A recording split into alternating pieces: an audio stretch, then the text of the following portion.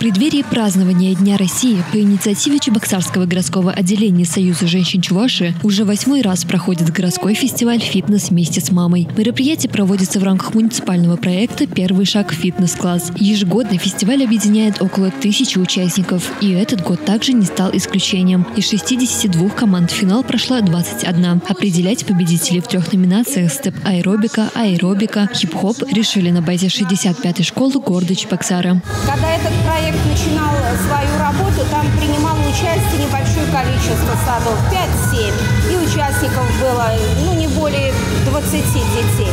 А потом с каждым годом нашим родителям этот проект очень понравился. Цель э, достигнута в том, что здесь идет укрепление семейных ценностей. Это мама и ребенок и, конечно же, здоровый образ жизни. Каждая команда – это воспитанники детских садов, их мамы, педагоги, которые долго готовились к этому празднику. Подбирали и шили костюмы, разучивали сложные движения и композиции. Сегодня они выступили с показательными фитнес-номерами, проявив спортивные умения, активность, ловкость, командный дух и гибкость. Ну, мы перед выступлением, конечно, как все волновались, и детки волновались, старались справиться со своим волнением.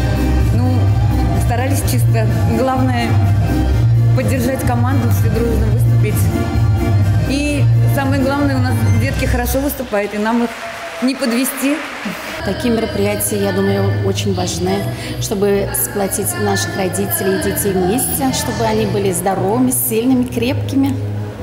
И пример, конечно, для всех остальных родителей, чтобы с детками занимались и внимание уделяли, получается, и спорту. Стоит отметить, что администрации города Чебоксара уделяется большое внимание развитию и пропаганде здорового образа жизни. Муниципальный проект «Первый шаг фитнес-класс» занял второе место в 2021 году в номинации «Лучшая программа. Проект по развитию физической активности среди населения Всероссийского конкурса «Здоровые города России». Татьяна Козлова, Степан Гурьянов. «Жизнь столицы».